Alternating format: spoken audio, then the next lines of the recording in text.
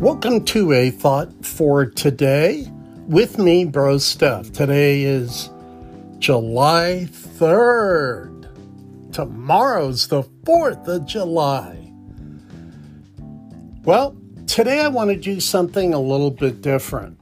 I've been studying Romans chapter 10, verse 16 and 17. I'd like to read those two verses right now for you. But they have not all obeyed the gospel. For Isaiah says, Lord, who has believed our report?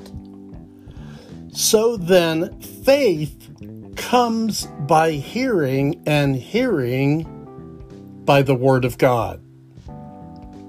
And now I want to do something a little different with our thought for today. Paul often tied two subject matters together faith and obedience. You can't have one without the other. In all of Paul's teachings and writings, you see this theme repeating itself over and over and over. Now, I did a word study on the word hearing in verse 17. So then faith comes by hearing, and hearing by the word of God. If we look at the Greek word for hearing, there are two words that can define the word hearing, our word for hearing in English. Number one is obedience, and number two is to listen. So now let me read this verse to you more than likely the way that Paul originally wanted it to be understood. So then, faith comes by listening and obeying the Word of God.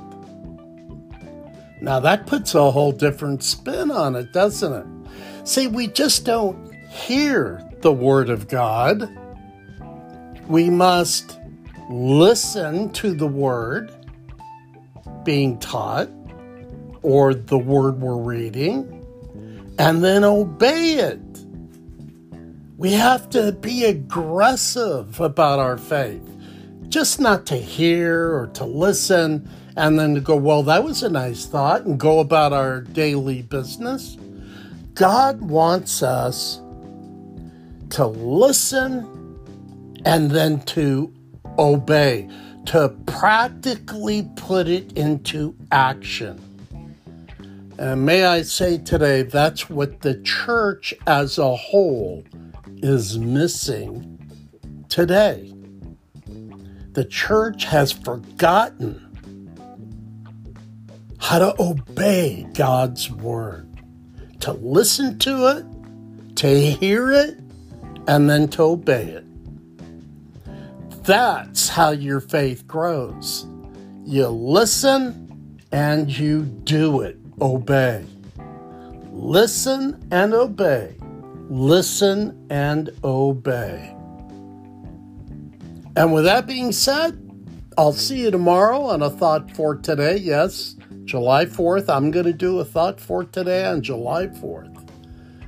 And uh, in the meantime, remember Jesus is coming back, so keep looking up. Bye for now.